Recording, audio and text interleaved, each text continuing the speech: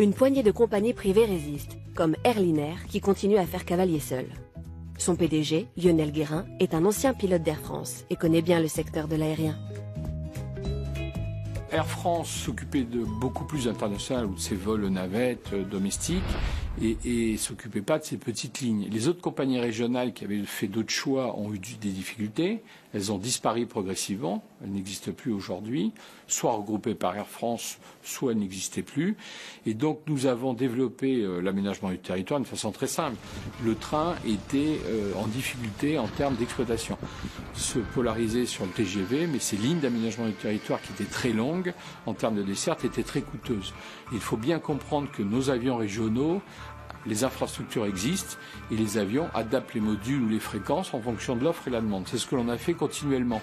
Notre première clientèle, 60% de nos clients sont des hommes d'affaires, des TPE, des PME qui utilisent nos avions pour faire venir des clients, des collaborateurs et qui développent l'aménagement du territoire.